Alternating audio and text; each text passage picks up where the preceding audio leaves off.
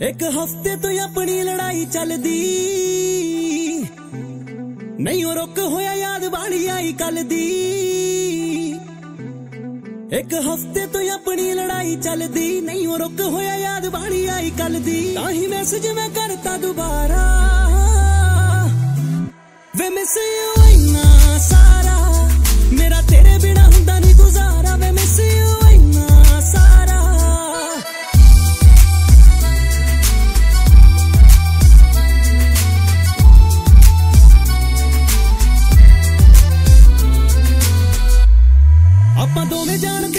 ਦੂਜੇ ਦਾ ਸੁਭਾਅ।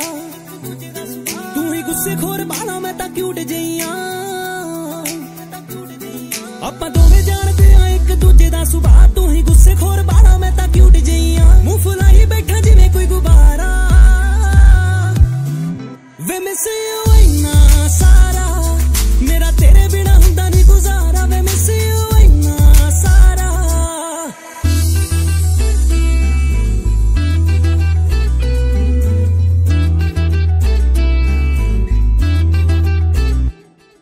ਆਏ ਚੇਤੇ ਤੇਰਾ ਨਾਂ ਜੋ ਮੈਂ ਪਿਆਰ ਨਾਲ ਲਵਾਂ। ਤੂੰ ਹੀ ਦੱਸ ਤੇਰੇ ਬਿਨਾ ਕਿਨੂੰ ਡੋਨਟ ਕਹਾਂ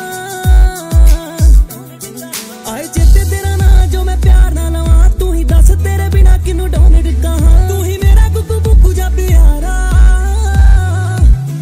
ਵੇ ਮਿਸ ਯੂ ਇਨਾ ਸਾਰਾ। ਮੇਰਾ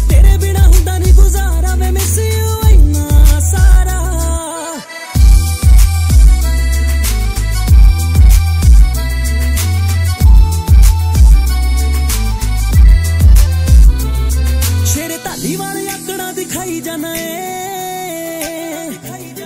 ਕਿਉਂ ਮੰਨਦਾ ਨਹੀਂ ਮਿੰਨਤਾਂ ਪਵਾਈ ਜਾਣਾ ਏ?